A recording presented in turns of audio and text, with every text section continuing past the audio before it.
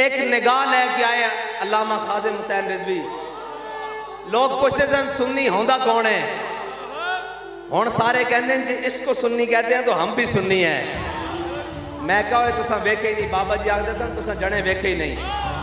कहने इमाम अहमद रजा ऐसे थे, वैसे थे, उनका रंग साफ़ नहीं था। मैं कहो, जड़ा खादिम हुसैन रिजवी का रंग वेख लवे इमाम अहमद रजा